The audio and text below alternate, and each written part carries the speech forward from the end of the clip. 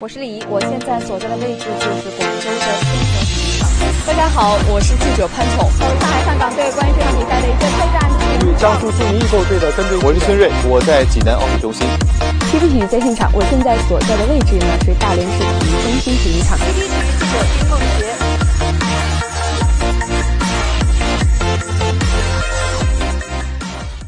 大家好，我是潘宠。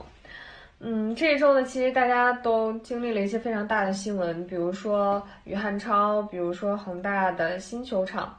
那在经历了这些新闻之后，在这些新闻平息之后，可能我们更想去了解一下每个队它具体的这个训练，呃，进程是什么样子的。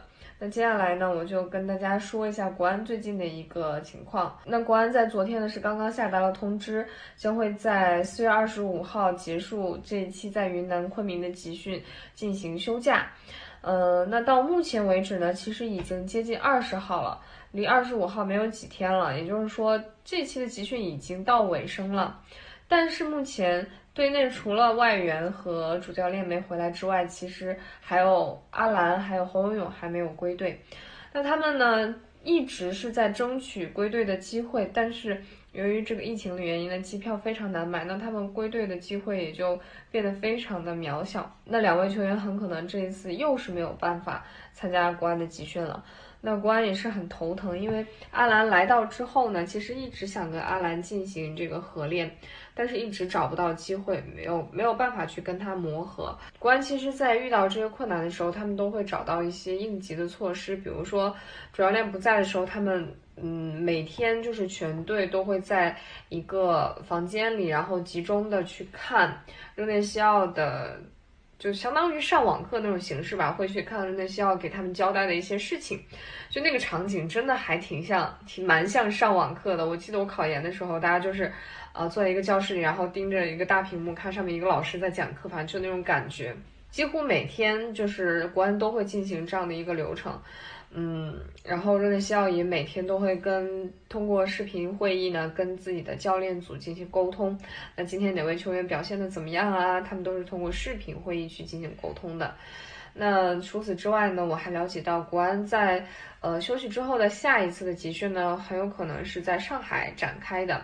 那么具体还是要等国安的通知。我目前只是得到了一些消息。其实到目前看来呢，国安的训练可以说是嗯。整个中超联赛里比较，呃有条不紊的一支球队，那他们呢一直是保持着这个有节奏的训练，他们也是为了能够让自己在新赛季呢能够保持一个更加稳定的成绩。那除了国安之外，呃同样训练也有条不紊的，我觉得还有我跟的另一支队伍就是石家庄永昌，他们呢自从国外回来之后，在隔离之后呢也是一直在这个训练之中，嗯。甚至球员都很少有机会放假回家看看，那他们平常呢也都只能通过手机去与家人交交流。那与家人交流的时候，聊的最多的也就是让他们注意防护，啊，一定要嗯不要注意不要被疫情所干扰。石家庄永昌最近呢也是公布了自己的一款新的训练服，那这款训练服呢是特别有特色的，它的这个左胸口这个口袋下面是印有三个字石家庄，那印有这个自己城市的名字，就显得这个训练服更加的庄重一些。这也是石家庄永昌新赛季的一个装备，那大家如果喜欢的话呢，就可以 get 起来了。